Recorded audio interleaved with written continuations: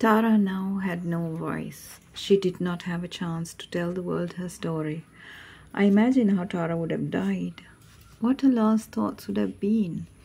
Young, beautiful, a few weeks into an unwanted motherhood, trapped alone in a love that she did not trust.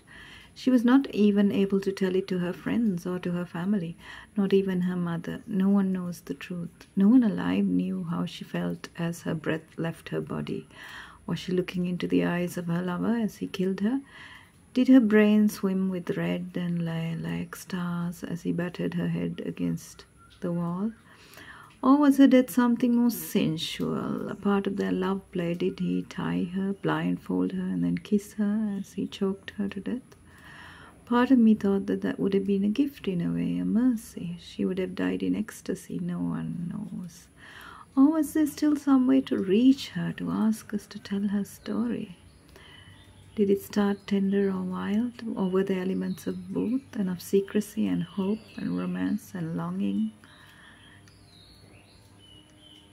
If I leave her, I will have to stay with you full time. You won't want that. What makes you think I don't want that? Yeah, so this is part of my story, The Mad Witches of Modera, and this is about a woman who was killed in Hangwelle. Uh, it's a famous uh, episode. Um, if you want to read more about it, uh, just, you know, give me a buzz or sort of motivate me so that I'll publish it. How's that sound?